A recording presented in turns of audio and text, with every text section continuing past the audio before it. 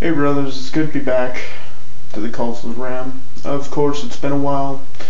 I've been on sabbatical, I guess you could say, just doing random shit and study, meditation, prayer, medita- uh, you know, meditation more, working out, so on and so forth. That you know, why even go into it at this point? I'm glad to be back. I'm glad that everybody allowed me back, considering that I'm a flighty fuck.